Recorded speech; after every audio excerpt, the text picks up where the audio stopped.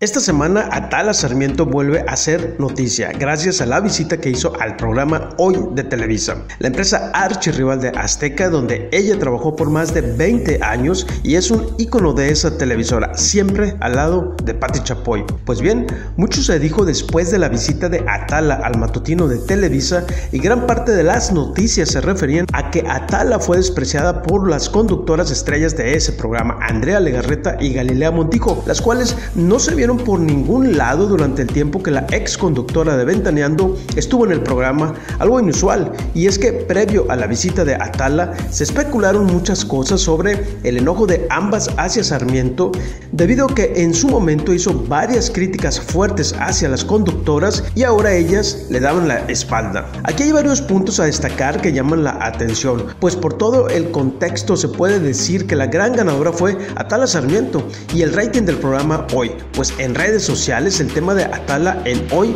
fue tendencia y llegó al primer lugar. Y a menos de 24 horas el video de la visita de Atala que subió el programa a su canal de YouTube había rebasado el millón de reproducciones, algo inusual de ese programa. Además hay que decir los cientos de comentarios positivos que tuvo Atala en las redes sociales y fue la nota principal en todos los medios de espectáculos y programas de chismes. Todo eso sin duda arroja varias señales muy buenas para Atala, sobre todo en este momento que está analizando propuestas. Los productores y conductores en general se han dado cuenta de la fuerza, el carisma y el clic que tiene Atala con la audiencia. Tal parece que desde el momento que se desmarcó de Ventaneando empezó a brillar como si hubiese estado contenida en el programa de Patti Chapoy. Y es que es claro que las reglas en ese programa impiden que alguien brille más que Patti Chapoy. Atala empieza a ver ahora el gran potencial que tiene, pues el programa al que va es noticia y jala la audiencia con ella. ¿Y quiénes son los perdedores por la visita de Atala?